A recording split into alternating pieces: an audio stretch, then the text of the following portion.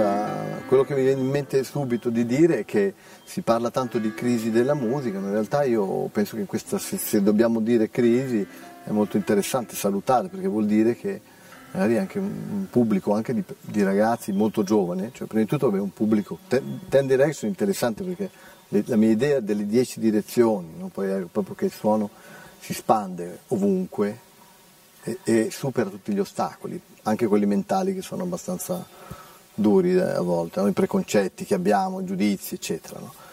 però a parte quello è anche un fatto di uscire dai limiti. Io vedo dei, tra un pubblico ragazzi che dai 12 anni cominciano a suonare il pianoforte, vengono, mi fanno sentire, eccetera, 14, 15, 18 fino poi avanti. No? Per cui questa crisi musicale diciamo che forse è interessante perché si vuole qualcosa dalla musica che magari non sia soltanto intrattenimento o divertimento, no, divertimento va bene ma come sottofondo, no? ogni tanto la musica che è una grande arte la trattiamo un po' così, no?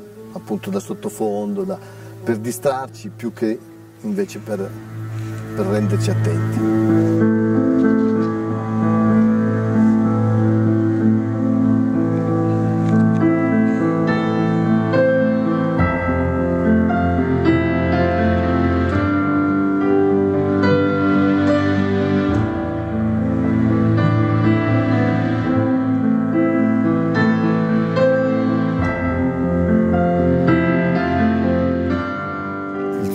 Fondo è unione e comunione. No? Allora se io magari eh, riesco a essere particolarmente attento mentre suono e a mettere questa attenzione, questa presenza nel gesto sonoro, la vibrazione che metto schiacciando, essendo attento, mette in vibrazione questa corda che arriva e fa partire no? nel mondo dei suoni, arriva, entra attraverso l'orecchio e poi si cala. Anche nel, nel, nel metabolismo, no? chi ascolta allora attraverso a livello profondo magari questa vibrazione tocca delle parti che diciamo noi oggi eh, nel mondo così un po' caotico, indaffarato che viviamo abbiamo poche occasioni di toccare.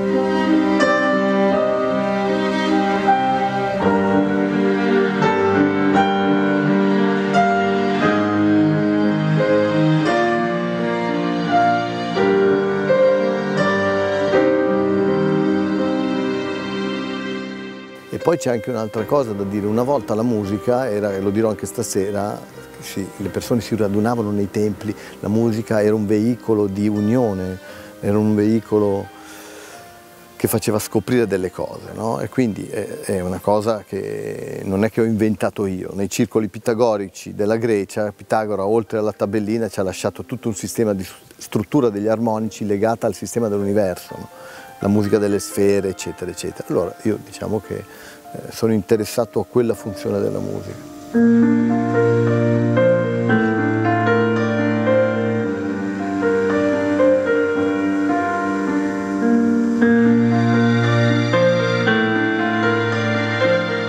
Da bambino mia madre mi aveva fatto notare che ci sono due momenti nella giornata dove tutto si ferma. È una sospensione no? che dura circa 40-45 minuti e avviene nell'aurora, cioè prima dell'alba, e subito dopo il tramonto. Diciamo al sorgere del sole il pianeta è come se facesse una lunga inspirazione che dura tutto il giorno fino al tramonto, poi al tramonto c'è questa sospensione di 40-45 minuti e poi una lunga espirazione che dura fino tutta la notte fino all'alba del giorno dopo.